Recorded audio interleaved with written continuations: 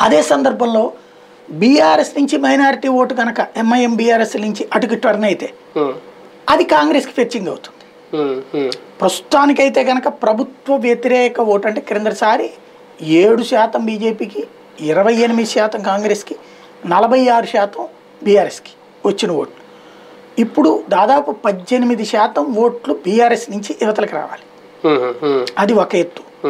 ఈ పద్దెనిమిదిలో బీజేపీ ఒక ఎనిమిది తీసుకుని వాళ్ళు ఒక పది తీసుకుంటే ఇరవై ఎనిమిది ప్లస్ పది ముప్పై ఎనిమిది వాళ్ళదవుతుంది. ఈ పద్దెనిమిది బీఆర్ఎస్కి తగ్గడం వలన ముప్పై మూడు ముప్పై నాలుగు దగ్గరకు వచ్చేసి అది దెబ్బతింటుంది. అలా కాకపోతే ఒక కాంగ్రెస్ పార్టీ దెబ్బతింటుంది. ఎందుకు? కాంగ్రెస్కి రావాల్సిన ఓట్లు అనేది దెబ్బతింటాయి. ఇక్కడ గ్రౌండ్ హోంవర్క్ అంటారు. అందులో బీఆర్ఎస్ తర్వాత బలంగా చేసింది బీజేపీ.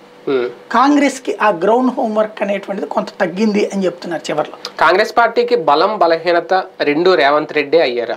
ఖచ్చితంగా. గెలిపి ఎందుకంటే అతను రావడం వల్ల బలం పుంజుకుంది.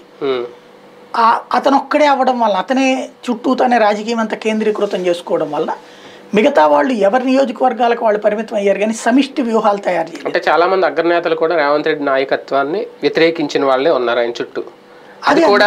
అది కూడా రేపు పొద్దున్న పార్టీకి మైనస్ అవుతుంది. ఎంతవరకు ఓటు బ్యాంక్ దూరం సమిష్టి వ్యూహాలు ఉంటాయి. సాధారణంగా ఏంటంటే పోల్ మేనేజ్మెంట్ అనేది సమిష్టిగా చేయాలి.